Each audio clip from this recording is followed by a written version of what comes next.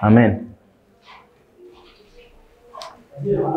Ningependa tuweze kuendelea katika somo letu la kuzichunguza ama kuchunguza kanuni ambazo tunafaa kuzitumia tunapoangalia neno la Bwana ambalo ni Biblia na vitabu vya roho ya unabii. Aa, kwa hivyo leo ningependa tuweze kuangalia nukuu kutoka kitabu kimoja cha dada White ambacho kinaitwa Review and Herald, Novemba mwezi wa kumi na moja tarehe ishirini na tano mwaka wa elfu moja mia nane themanini na nne na ni aya ya ishirini na tatu kama njia ya utangulizi kabla tuanze kuziangalia kanuni hizo.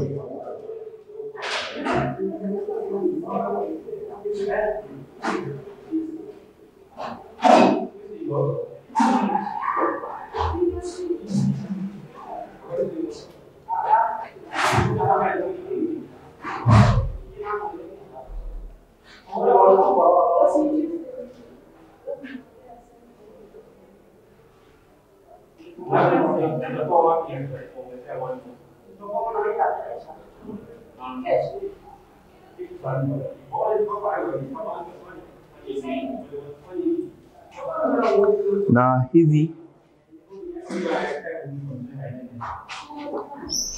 na hivi ndivyo nukuu inasoma those who are engaged in proclaiming the third angel's message are searching the scriptures upon the same plan that Father Miller adopted. Uh, dada White anatuambia kwamba wale ambao wanahusika na kazi ya kuhubiri ujumbe wa malaika watatu wanachunguza maandiko matakatifu kutumia mtindo ule ule aliyoutumia William Miller. Kwa hivyo kitu kikuu ambacho tunafaa kujua ni mtindo upi aliyoutumia Miller. Alafu anaendelea akisema uh, in the little book in the little book entitled Views of the Prophets and Prophetic Chronology, Father Miller gives the following simple but intelligent and important rules of Bible study and interpretation. Kwa hivyo anasema katika kitabu kimoja jam, katika kitabu kimoja cha mila na hicho kitabu kinaitwa Views of the Prophecies and Prophetic Chronology, kwamba Baba Mila anapeana kanuni zifuatazo rahisi na za akili za kusoma neno la Bwana. Ah, Kwa hivyo kutoka kwenye aya hiyo ni aya ya ishirini na tatu na aya ya ishirini na nne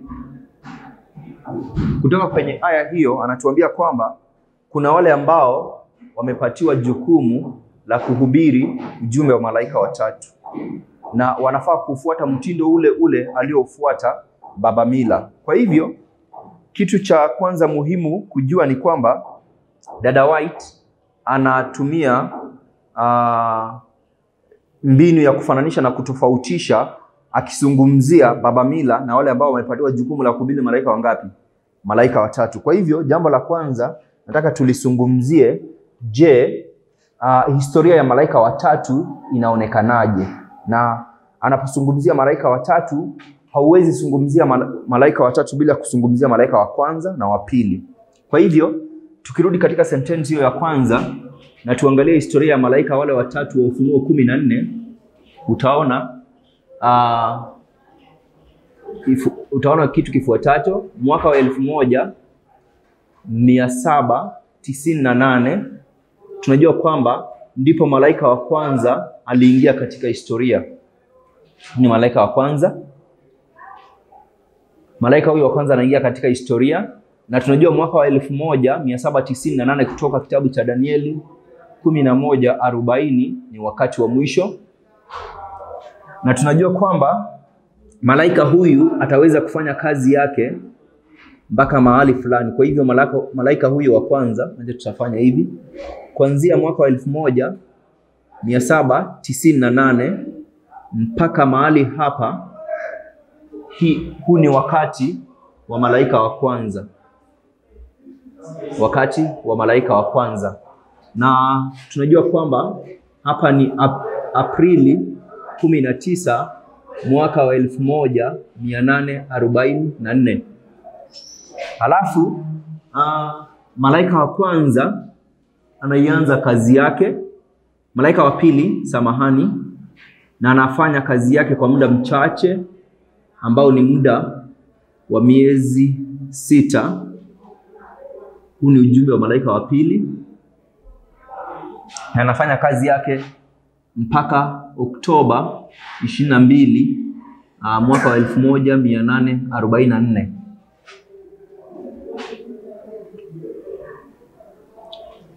Halafu tunakuwa na ujumbe wa malaika watatu, na ujumbe huo wa malaika watatu utaanzia Oktoba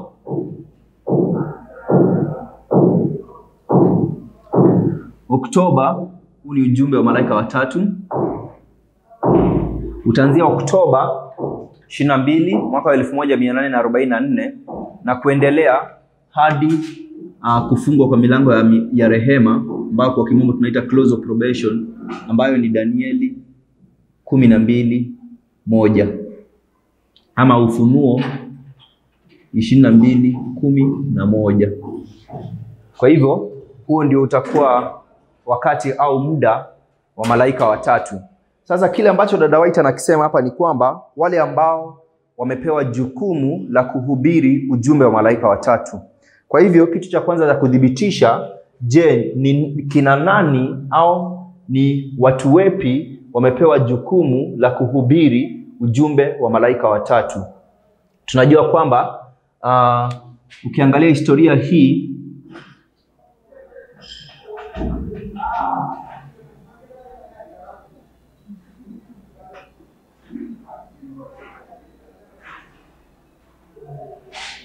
ukiangalia historia hii uh, ni historia ya kanisa la Kiadventista.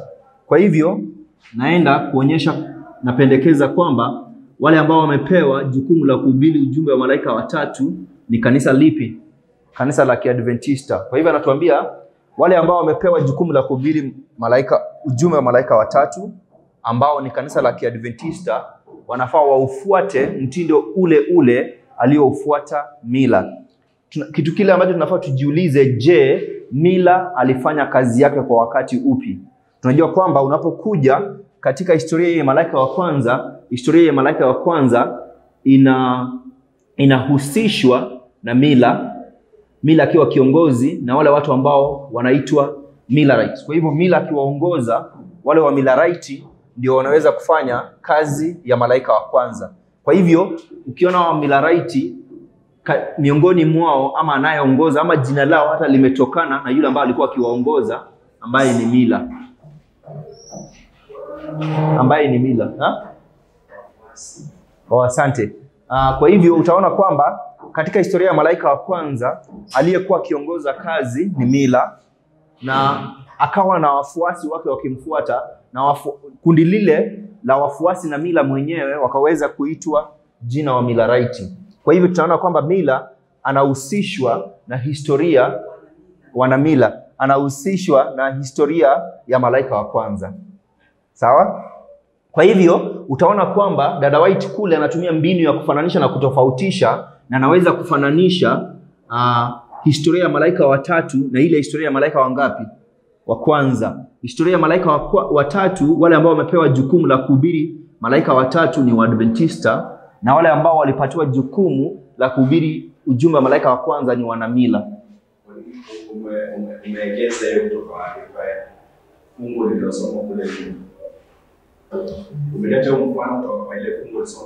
Naam, naam, unasema sentensi ya kwanza inasema wale ambao wamepewa jukumu la kuhubiri ujumbe wa malaika watatu wanafaa wafuate mtindo aliofuata baba Mila. Kwa hivyo hii sentensi ya kwanza ndio imenipatia ruhusa ya kuchora uh, mchoro huo.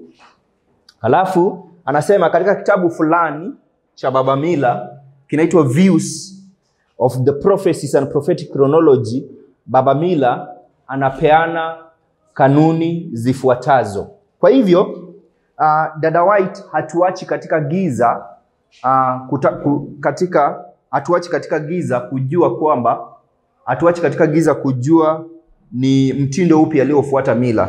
Tunaona kwamba anakuambia kwamba katika kitabu chake anakupa kanuni zifuatazo za kuisoma Biblia.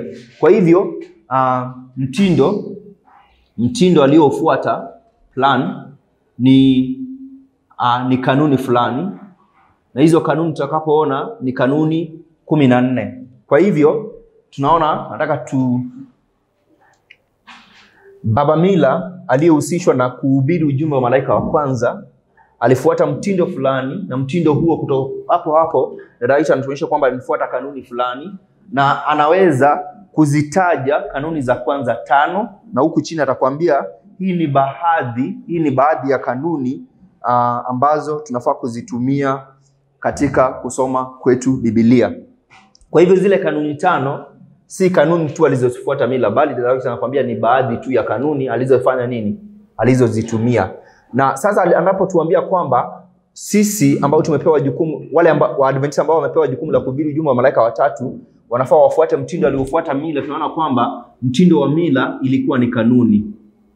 Kwa hivyo tunaona kwamba mtindo wa Mila ilikuwa ni nini? Ni kanuni. Kwa hivyo kile ambacho dada White anasema ni kwamba tunafaa tuzifuate kanuni zile zile alizozifuata Mila katika kuchunguza uh, Biblia zetu ili tuweze kuhubiri ujumbe wa malaika watatu katika dunia kwa njia ipasayo ama kwa njia ifaayo.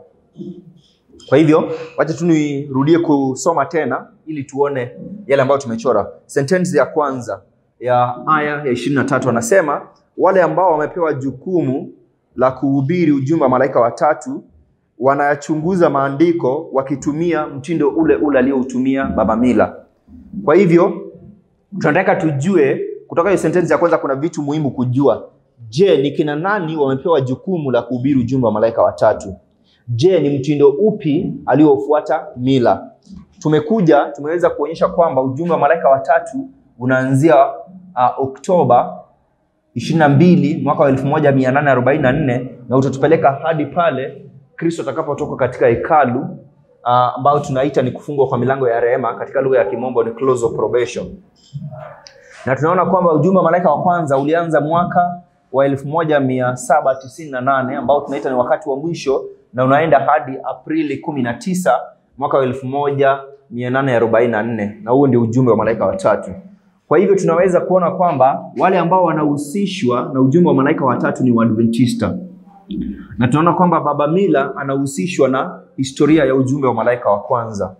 Tunaona kwamba kwa hivyo Mila yumo katika historia ya malaika wa kwanza, na katika fungu lile ukisoma sentensi ya pili ya aya ya ishirini na tatu atakwambia katika kitabu chake kinachoitwa Views of the Prophets and Prophetic Chronology, Baba Mila anatupa kanuni zifuatazo za kusoma Biblia na kuieleza. Kwa hivyo mtindo aliofuata Mila ni kanuni na, na ni kanuni kanuni hizo zinafaa kutuongoza katika kusoma Biblia na kuieleza. Na ukienda katika aya ya ishirini na nne anataja baadhi ya kanuni zile anazotupatia Baba Mila. Kwa hivyo tumeona mtindo ule ambao tunafaa kufuata mtindo ule tunafaa kufuata kama Waadventista ni mtindo wa kanuni kumi na nne. Alafu tumesema unapoenda katika aya unapoenda katika aya ya ishirini na nne anaweza kutaja kanuni za kwanza tano, anaweza kuzitaja kanuni uh, za kwanza tano anaweza kuzitaja kanuni za kwanza tano. Uh, lile amba, lile, kile ambacho tunafaa tujiulize ama kile ambacho tunafaa kujua ni kwamba dada White ni nabii sawa, na akiwa nabii uh, na akiwa nabii ni aya ishirini na nne aya ishirini na nne ya Review and Herald. Uh, na akiwa nabii kwamba tunajua hakuna kile anachokifanya nabii ambacho kinakuwa cha uh, ajali. Kwa hivyo uh, tunataka tuone ni maana yepi tunaweza kupata kutoka kwa yeye kuzitaja zile kanuni za kwanza tano. Uh, na kujua maana ya hilo ni kuangalia nambari tano inamaanisha nini katika Biblia. Ukienda katika sehemu tofauti tofauti uh, za Biblia, nambari tano imetumika kama mfano uh, sehemu tofauti tofauti za Biblia, na mojawapo ya maana ya nambari tano tunaona kwamba katika ule mfano wa wanawali kumi, kuna wanawali watano werevu na wanawali watano wapi? Wajinga. Kwa hivyo kile ambacho tunafaa kutoa hapo si namba tano, bali lile wazo ambalo limeambatanishwa na nambari tano, na wazo ni kuwa mji, kuwa mwerevu au kuwa nini? Kuwa mjinga. Nambari tano inaweza kuwa na maana hiyo, kuwa mwerevu au kuwa nini? Mjinga. Aa, ukienda mahali pengine kwenye Biblia utaona aa, kwa mara nyingi Biblia inapozungumzia Mungu akiwaokoa watu wake kutoka mahali fulani ama kutoka kwa jambo fulani, itaelezea akitumia mkono wake wa kuume, na mkono wake wa kuume una vidole vingapi? Vitano. Kwa hivyo inaweza ashiria mkono wa Mungu wa kuume ambao ni mkono wa uokovu, mkono wa kuume wa uokovu. Tunajua historia ma, maarufu sana katika Biblia ambayo ni historia ya Daudi na Goliath, na tunaona kwamba uh, Daudi anapoenda kumua Goliathi anaenda katika mto ulio katika bonde na naweza kuzichagua kuyachagua mawe mangapi? Matano. Uh, smooth ni ha? Smooth ni nini katika Kiswahili?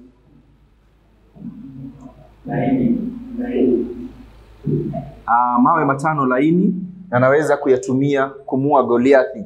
Uh, na ukiangalia katika kitabu cha Dada White Desire of Ages anakuambia kwamba nambari tano inaashiria msingi. Desire of Ages mia moja arobaini na tumai ni, uh, ni aya ya kwanza anakuambia kwamba nambari tano inaashiria msingi. Kwa hivyo tunaweza kuwa na nambari tano ikiashiria vitu hivi tofauti. Inaweza ashiria uh, kuwa mjinga au kuwa mwerevu. Mkono wa kuume wa Mungu ulio na vidole vitano uletao uokovu, na mawe matano aliyoyatumia Daudi kuua uh, kuua Goliath, na pia nambari tano inaweza ashiria msingi. Sisemi sisemi ha? Uh, sijui hayo lakini nilikuwa nataka kusema jambo hili ni kwamba nambari tano ina maana zaidi ya yale ambayo nimeweka katika nini, katika ubao. Kwa hivyo tuende tuendelee kuchunguza. Nataka kutumia uh, maana hii maana maana hii ambayo nimeweka katika ubao kusema jambo fulani. Uh, kwa hivyo uh, maana aya ya kwanza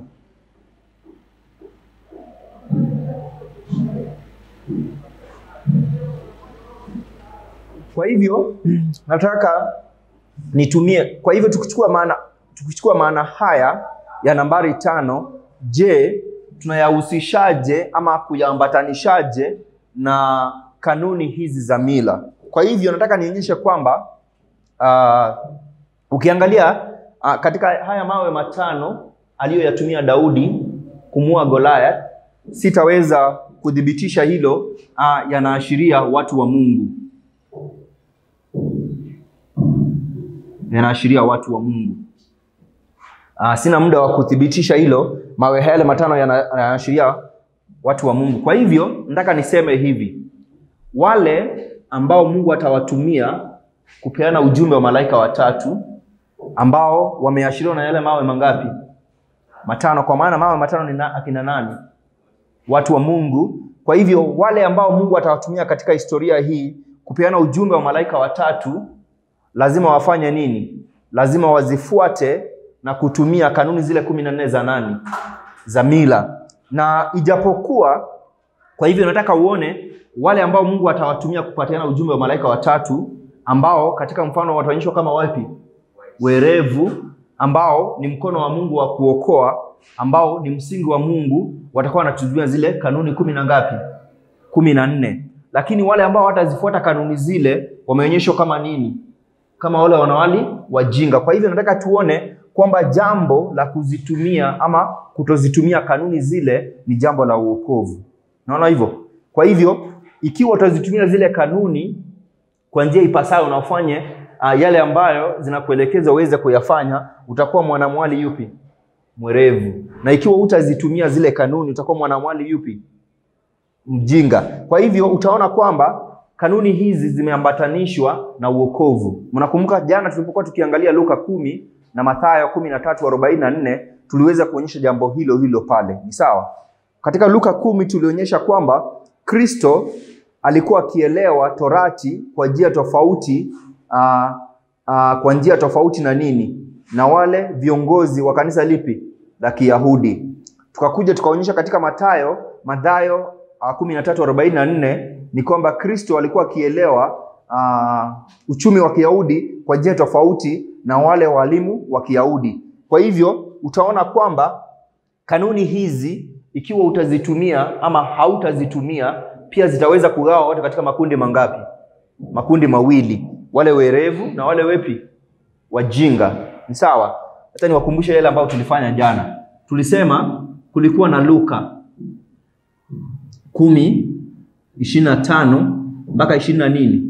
ishirini na nane. Na tulionyesha kwamba ni law au katika lugha ya Kiswahili torati, na kwamba kulikuwa na njia tofauti za kuielewa torati hile, na njia hizo tofauti zilikuwa kati ya Kristo na wale viongozi wa kanisa la nini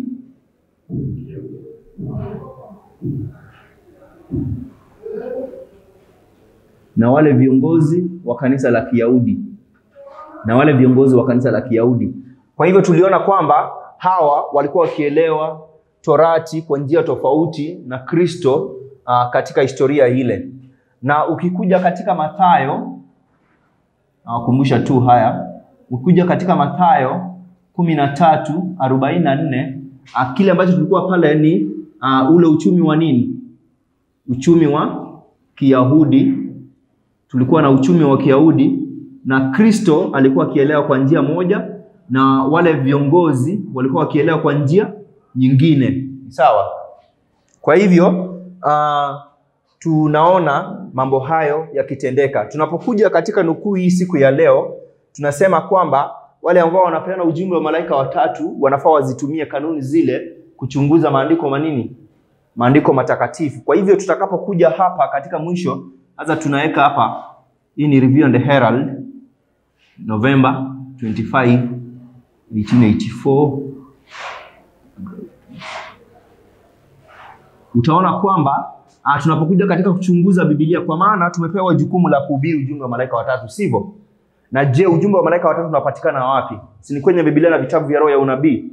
Kwa maana ujumbe wa malaika watatu ni Injili, sivyo?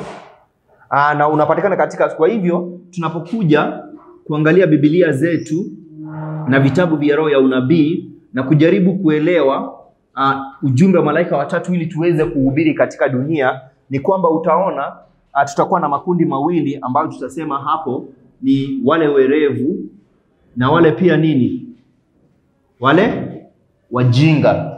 Werevu na nini? Werevu na wajinga. Kwa hivyo uki, uki tumia mbinu ya kufananisha na kutofautisha, utaona kwamba wale werevu wameweza kuashiriwa kutoka wameweza kuashiriwa kutoka historia hizi mbili na nani? Na Kristo. Ni sawa? Bali wale wajinga wameweza kuashiriwa na viongozi wa kanisa lipi? Kanisa la Kiyahudi. Na hata mnakumbuka jana tulipoangalia uh, ni nini hazina katika mwisho wa ulimwengu, tuliona kwamba hazina ni Injili. Ni sawa? Na Injili ni ujumbe wa malaika upi? Watatu. Kwa hivyo tunapokuja katika mwisho wa ulimwengu, tutakuwa na njia mbili tofauti za kueleza ujumbe wa malaika yupi, ujumbe wa malaika watatu, kutegemea kanuni ambazo watu wanafanya nini, wanazitumia. Kwa hivyo tumeweza kupeana mifano hiyo mitatu kuonyesha umuhimu wa kusoma Biblia zetu tukitumia zile kanuni kumi na nne na jana, kutoka historia hizi mbili tulithibitisha kwamba vifaa ambavyo Kristo alivitumia kuyaelezea yale ambayo yalikuwa yamesitirika tangu awali ilikuwa ni mifano. Kwa hivyo uh, tunaona kwamba jana tulikuwa tunajiuliza ni vifaa vipi tunaweza kuvitumia kulisoma ama kulichunguza neno la Bwana. Jana tuliweza kuona ni mifano na tuliweza kuona ni mifano kutoka mafungu haya mawili. Tuliweza kuona ni mifano kutoka Luka, kutoka uh, historia hii mbili, alafu leo pia tumeona ni zile kanuni za nani? Za Baba Mila. zile kanuni za baba mila. Kwa hivyo natumai kwamba mifano hiyo imetosha kutudhibitishia ama kutuonyesha umuhimu wa kusoma neno la Bwana tukitumia kanuni. Umuhimu wa kusoma neno la Bwana tukitumia nini? Kanuni. Kwa hivyo nitamalizia hapo katika utangulizi aa, alafu tuanze tuanze kuangalia kanuni zile kumi na nne. Uh, tutamalizia hapo kwa utangulizi alafu tuanze kuangalia zile kanuni kumi na nne. Kwa hivyo ndaweza kufuta hapa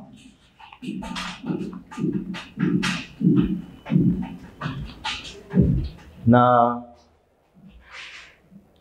tutaweza kuangalia zile kanuni kumi na nne, na kabla tuanze kuangalia zile kanuni kumi na nne, hebu tuweze kuangalia utangulizi na utangulizi tutapata katika kijitabu hicho ambacho kina zile kanuni kumi na nne. Napenda utangulizi huo kwa maana unatupa mwongozo unatupa mwongozo wa kuzisoma na kuzichunguza kanuni zile.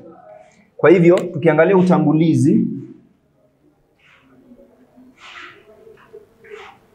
tukiangalia utangulizi au tunasema introduction ni kwamba tunaangalia utangulizi anaotupa mila mwenyewe, na utangulizi huo utatusaidia ama kutupa mwongozo wa kuzipitia na kuziangalia kanuni zile. Anasema hivi, in studying the Bible, anasema katika kusoma Biblia, I have found the following rules to be of great service to myself and now give them to the public by special request. Ni kama anasema katika kusoma Biblia nimezipata kanuni zifuatazo kuwa za muhimu kwangu na sasa nazipeana kat, nazipeana, katika, nazipeana kwa umma kwa njia ya kuomba, nazipeana kwa umma kwa based upon special request, nazipeana kwa umma kwa njia ya kuomba. Alafu anasema every rule should be well studied, kila kanuni isomwe kwa makini in connection with the scripture reference kila kanuni isomwe kwa makini ikiambatanishwa na yale mafungu ambayo yamepeanwa pale, ikiwa mwanafunzi ataweza, mwanafunzi wa Biblia ataweza kunufaishwa na kanuni hizo. Kwa hivyo napenda utangulizi ule kweli, anatuambia vitu viwili. Anatuambia kitu cha kwanza, uh, tutakuwa tunafuata hatua hizi. Hatua ya kwanza anatuambia ni kwamba kila kanuni isomwe kwa makini. Uh,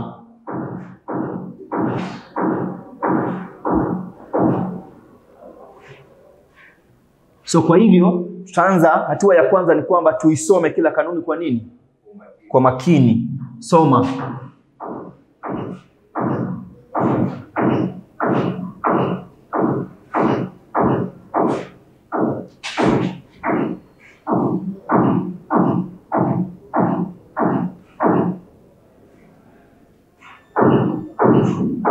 Kila kanuni isomwe kwa makini. Alafu hatua ya pili ambayo nitaweza kuitoa hapo ni kwamba um, hapo lakini nitaisema. Anasema kila kanuni isomwe kwa makini. Ya mwisho anatuambia in connection with the scripture reference. Hii itakuwa ya tatu. Alafu mimi nitasema uh,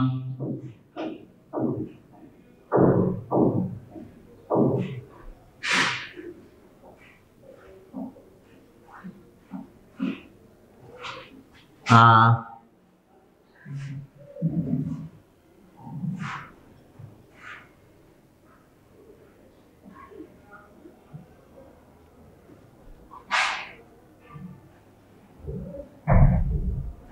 ni kwamba tusome uh, mafungu uliopewa hapo chini katika kila kanuni kwa makini.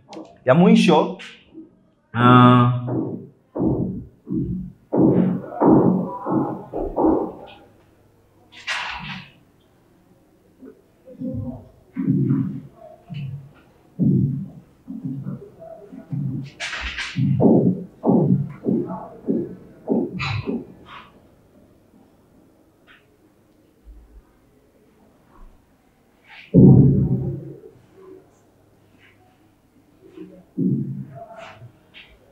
ni kwamba tuweze kuonyesha uh,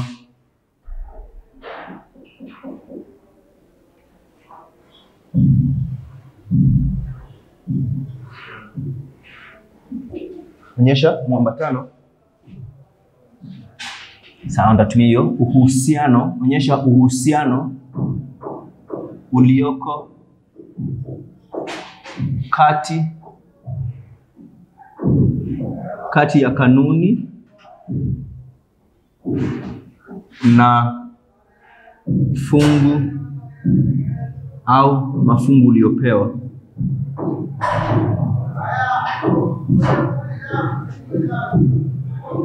Kati ya fungu au mafungu uliyopewa.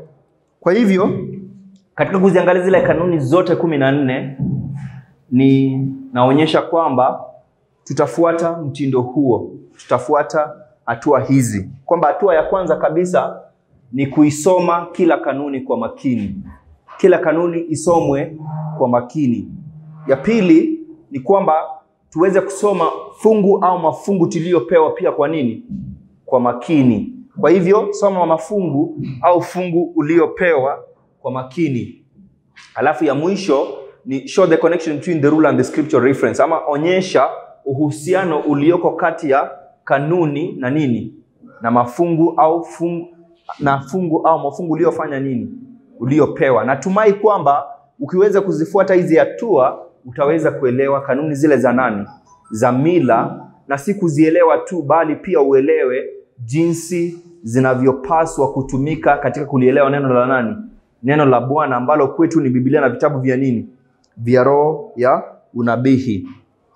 Kwa hivyo tutaenda katika kanuni yetu ya kwanza.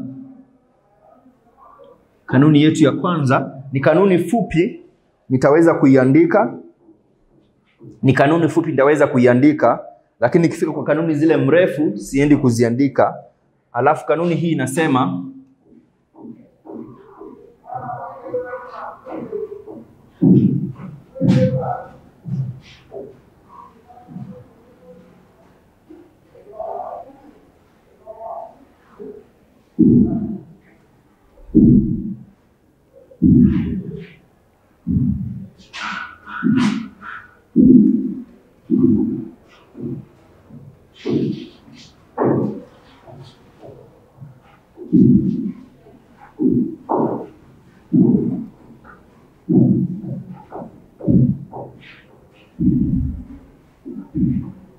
alafu uh, alafu atakuwa huko chini atakupatia proof ambayo ni Mathayo tano kumi na nane. Kwa hivyo uh, Baba Mila anapotupa zile kanuni atafuata mtindo huo. Nitakupa kanuni na atakupa fungu au mafungu aa, na katika kitabu kijitabu chake ataita mafungu yale kama proof. Proof ni thibitisho, ni sawa. Kwa hivyo anakuonyesha kwamba kanuni hii hakuitoa katika hewa, bali proof ama mahali ambapo aliitoa kanuni ile ni katika mafungu au fungu alilokupa hapo nini, hapo chini, ni sawa, tukijua maana ya proof ama thibitisho. Aa, kwa hivyo nilisema hatua uh, ya kwanza ni kuisoma kila kanuni kwa nini, kwa makini, na kanuni ya kwanza inatuambia kwamba kila neno liwe na nini liwe na mwelekeo wake sahihi, ikitegemea nini, muktadha unaoongelelewa katika nini, katika Biblia. Kwa hivyo nataka kusema jambo moja. Kwa mfano, ukiona maneno ambayo yanajumuisha uh, kanuni ya kwanza ni maneno karibu kumi na tatu, sivyo? Moja, mbili, tatu, nne, tano, sita, saba, nane, tisa, kumi, kumi na moja, kumi na mbili, kumi na tatu, kumi na nne, ni maneno kumi na nne na unapo, unaposoma kila kanuni kwa makini, je, ni kila neno utakaloliangalia? Nasema ndio, utaliangalia kila neno, lakini kuna maneno ambayo ni muhimu zaidi kuliko nini, kuliko mengine, ambayo yaliyo na uzito sana kuliko mengine. Kwa hivyo napendekeza na, na na kwamba maneno yale muhimu zaidi ndio tunafaa kufanya nini, kuiangazia sana, ili kuweza kupata maana ya kanuni hiyo na ili iweze kutusaidia kuelewa jinsi kanuni itafanya nini, inavyofanya kazi. Kwa hivyo nikifuata mtindo huo kwamba kuna maneno katika kanuni hiyo ya kwanza ambayo yana uzito zaidi kuliko mengine, na ni katika kuangalia maneno hayo yaliyo na uzito kwa nitaweza kuelewa kanuni hii na jinsi inavyofanya nini, inavyotumika, na nitapendekeza kwamba neno lililo na uzito zaidi ni hilo, si neno bali maneno, maneno ambayo yanasema kila neno. Alafu uh, nitachukua sehemu hii pia ni ya uzito, alafu nitachukua sehemu hii. Kwa hivyo ah, katika maneno kumi na nne nimechukua maneno moja, mbili, tatu, nne, maneno tano ya kuwa ya umuhimu zaidi ama uzito zaidi kuliko mengine, na natumai kwamba nikiyaelezea maneno yale kwa makini nitakuwa nimeelewa maana ya kanuni hiyo na jinsi inavyopaswa kutumika. Kwa hivyo uh, tumesema kila neno uh, uh, proper bearing ni alafu hii ni mada ama muktadha. Proper bearing ni mwelekeo, mwelekeo uh, mwelekeo unaofaa, mwelekeo sahihi. Kwa hivyo kile ambacho tutafanya ni kuyachukua maneno haya tuyejaribu kuyaelezea. Uh, sidhani ni muhimu, hilo si muhimu kwangu. Uh, nachukua tu maneno ambayo ni muhimu ambayo yatanisaidia kuelewa kanuni, na Sihoni vile jina mas itanisaidia kuelewa kanuni. Kwa hivyo uh, tunafaa tuelezee every word. Nadhani sehemu hii ya kwanza ni, ni inaeleweka, inaeleweka kabisa, ni sawa? Kwa hivyo tunasema kwamba every word ni kila nini, kila neno. Kwa hivyo katika jarida lile ama kitabu kile unachokisoma, iwe Biblia, iwe vitabu vya roho ya unabii, iwe vitabu vile vya kidunia tu, hadithi, unafaa uruhusu kila neno aa, kila neno liwe na mwelekeo mwelekeo sahihi. Kwa hivyo tunasema proper bearing uh, proper uh, kwa hivyo tutaangazia hii jina bearing because proper ni, ni kuwa sahihi ama kwa njia ifaayo. Kwa hivyo uh, hili jina bearing uh, lina maana maana ambayo tunaweza tumia ni kama umuhimu sawa, ambayo ni majina tena mawili ya kizungu lakini yana maana moja.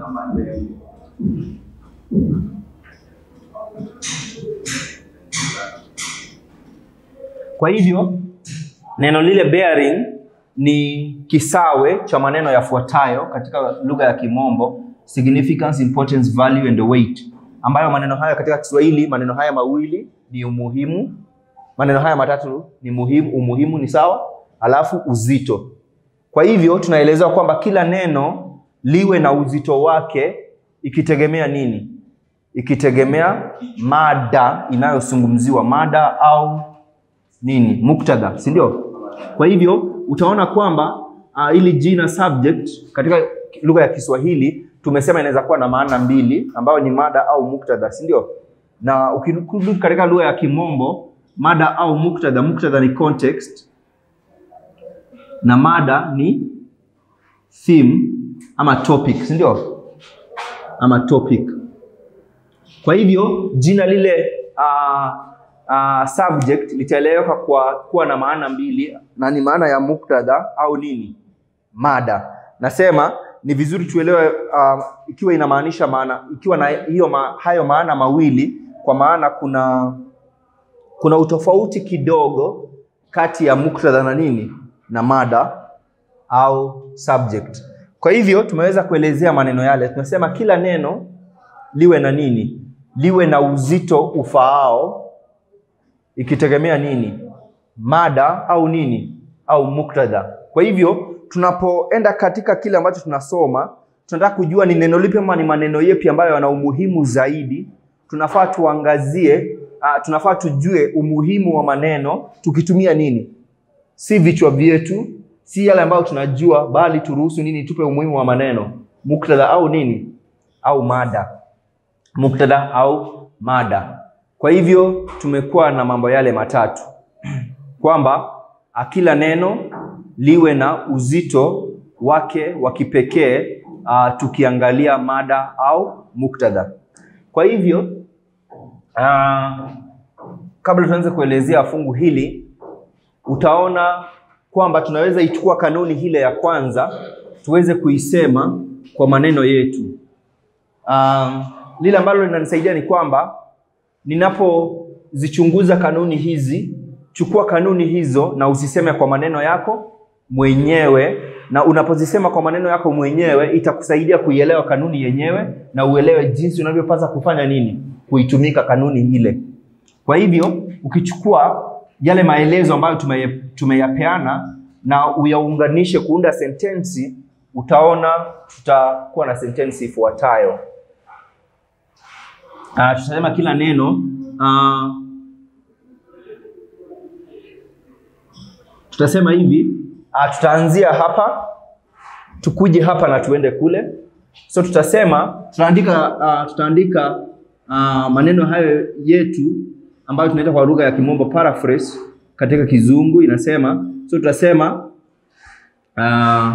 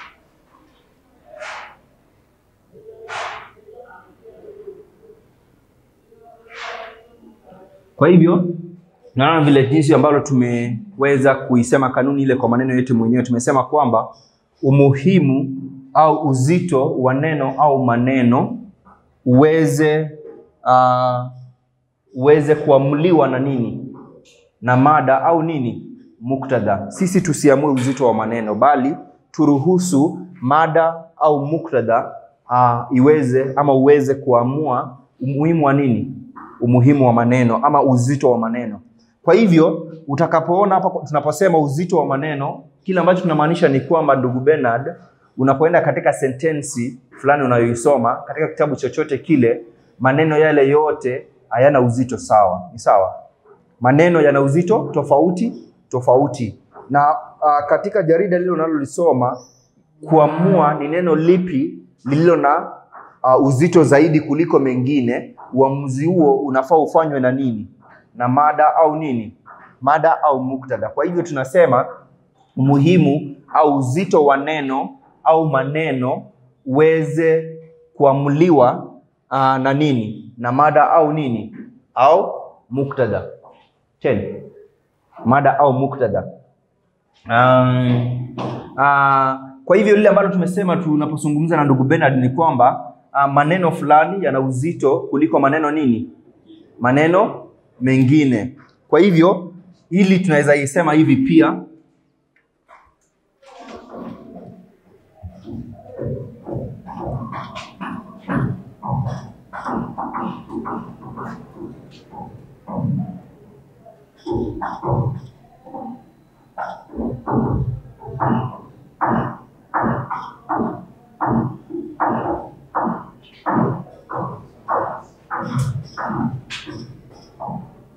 tunasema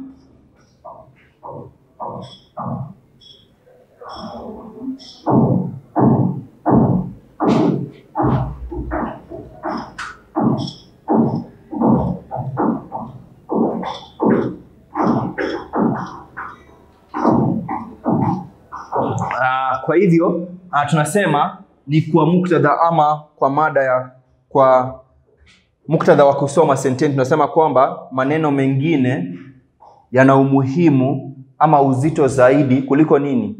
Kuliko mengine. Sentensi hizi mbili si sentensi tofauti, naona hivyo ni sentensi nini sawa, lakini uh, imesemwa kwa njia nini?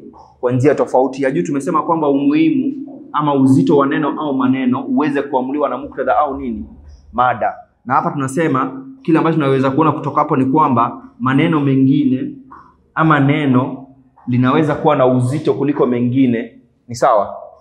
Uh, ni kwamba neno au maneno mengine yana uzito uh,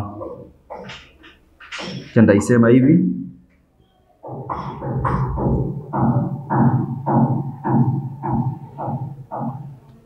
uh, neno au maneno mengine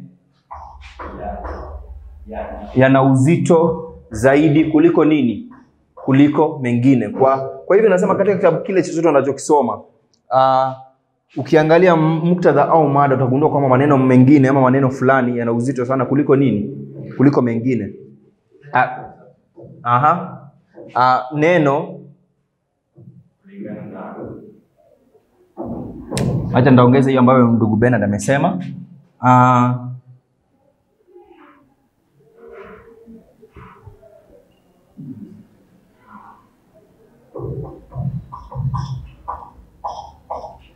Kwa hivyo tumeongeza lile ni kwamba neno au maneno yanaweza kuwa na umuhimu ama uzito zaidi kuliko mengine, ikitegemea nini?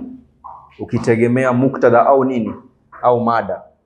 Na kwa hivyo nataka niliongelele jambo lingine ili tuweze kumaliza darasa hili la kwanza, ni kwamba unapoangalia tumetumia katika sentensi zetu mbili tumetumia neno, katika sentensi ya pili pia tumetumia neno au maneno na kile ambacho kimetufanya tutumie neno au maneno ndivyo Mila anavyofanya nini, anavyosema katika kanuni ile. Ni sawa, lakini utakapoitumia kanuni hii utaitumia kanuni hiyo kwa njia mbalimbali mbali na sehemu gani mbalimbali mbali. Na kila wakati unaposoma jarida ama tuseme kitabu ama vitabu vya roho ya unabii hautakuwa unaangalia katika neno ngapi neno moja, utakuwa unaangalia vitu tofauti tofauti, lakini unahitajika utumie kanuni ile ile. Ni sawa.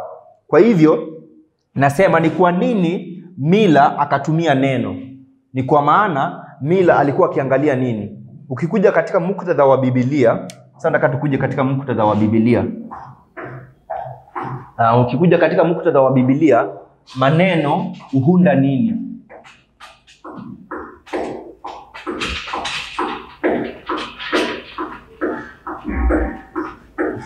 Nataka tukuje tukiangalia Biblia. So nataka tutumie Biblia kwa wakati huu. Ukitumia, ukiangalia Biblia maneno neno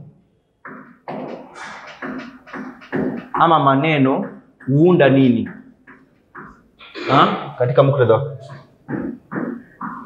fungu. Kwa hivyo tunapokuwa na neno au maneno katika Biblia itaunda nini? Itaunda fungu. Kwa hivyo Mila anapoipeana kanuni hile uh, anaibase. Base ni nini? Base ni nini Festus? Uh, ana anapopatiana anapopatiana kanuni hii anaibase on anaibase kwa fungu, ni sawa? Anaibase kwa fungu, yani anatumia fungu katika kuframe hii kanuni ama kutengeneza hiyo kanuni, ni sawa? Kwa hivyo anapotumia fungu na tunajua fungu, fungu ni nini? Maneno, maneno ndio yanatengeneza fungu, sivyo? Na unapokuja katika Biblia mafungu, fungu au mafungu yanakutengenezea nini? Aya, ni sawa, itakuundia aya, lakini aya katika Biblia inaitwa nini? Aya katika muktadha wa Biblia ni chapter, si ndio? Chapter ni nini? Alafu ukiwa na aya sijini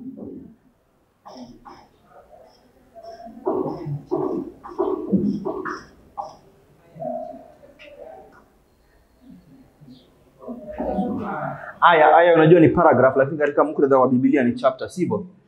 Alafu uta, itakutengenezea kitabu na, ki, na vitabu vitakutengenezea nini sasa? Tarudi huko juu ambayo vitakutengenezea Biblia. Kwa hivyo Mila anapoitengeneza kanuni ya kwanza, ahangalii hapo, ahangalii kule, angalii kule, anaangalia wapi? Sehemu ya kwanza. Kwa hivyo nasema tuna sehemu hizi sehemu hizi nne sehemu hizi nne nataka nijue Mila alipokuwa akitengeneza kanuni ya kwanza alikuwa akiangazia sehemu gani? Ni sawa. So Mila alipokuwa anaunda kanuni ya kwanza na, napendekeza kwamba alikuwa akiangazia katika sehemu hiyo. Sawa ndugu Bernard. Lakini utakapotumia kanuni ya kwanza kuchunguza Biblia ni kwamba hautakuwa ukikutana tu na sehemu ya kwanza, sivyo? Utakuwa unakutana na sehemu ya pili, sehemu ya tatu na sehemu ya nini? Ya nne. Ukitakikana utumie kanuni ya kwanza katika sehemu ya nne, utaitumia vipi? Kwa maana katika sehemu ya nne ni kitabu, si maneno. Ni sawa? Kwa hivyo nataka uone kwamba kama tuna hizi sehemu nne, unapokuja katika kanuni hii tumetengeneza hii sehemu hii sehemu hii ya neno au maneno itakuwa inabadilika kutegemea kile ambacho unafanya nini, unakiangazia ama kukiangalia. Ni sawa? Kwa hivyo utakapokuja sehemu ya pili, unaangalia aya, itageuka kutoka neno au maneno ikuwe fungu au nini, mafungu. Ni sawa? Itakuwa fungu au mafungu. Uh, utakapokuja kuangalia sehemu yetu ya tatu itakuwa ni aya au aya nyingi, aya au aya nyingi. Alafu utakuja ukikuja sehemu ya nne itakuwa kitabu au vitabu.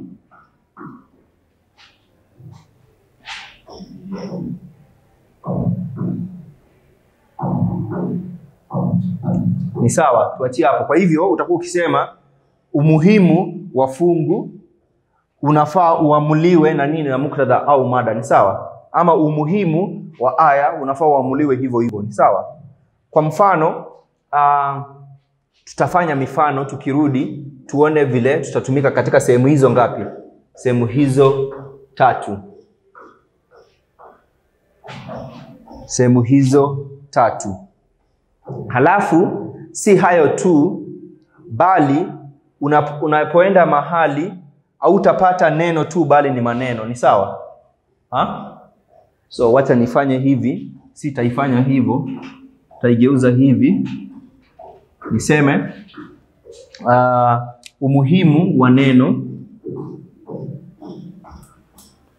Umuhimu wa neno unafaa uamuliwe na nini? Na mada, sivyo?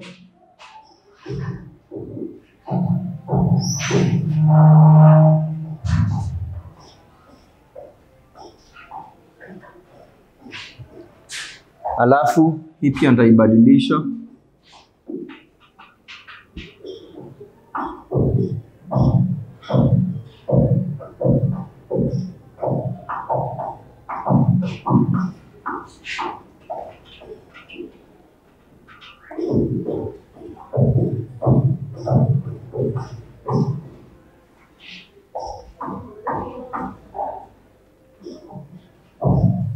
Kwa hivyo tutakuwa hivyo.